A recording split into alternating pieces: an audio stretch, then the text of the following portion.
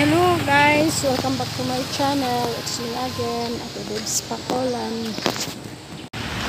Today's video guys, ang ipapakita ko sa inyo ay ang COVID vaccination journey ng Fully vaccinated na po siya guys. Siya po ay isang 17. Pero bago tayo magpatuloy, please like and subscribe to my channel, ang Ate Debs Pakolan.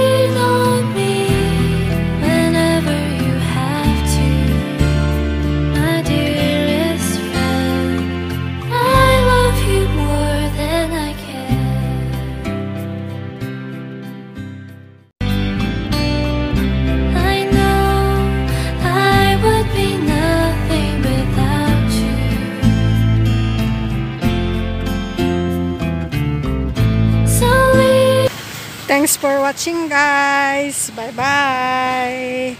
Keep safe everyone.